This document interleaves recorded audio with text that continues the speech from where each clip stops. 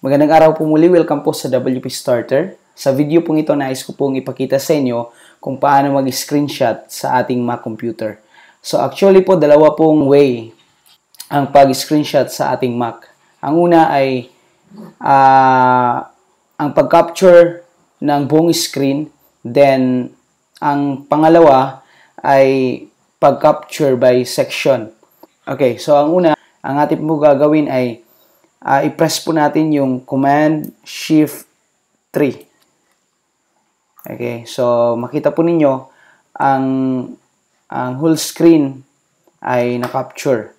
So ang pangalawa naman po ay uh, pag-capture by section. So ang gagawin po natin ay i-press po natin ang Command Shift 4. Then makita po ninyo yung plus uh, icon dyan. Kita po ninyo yan.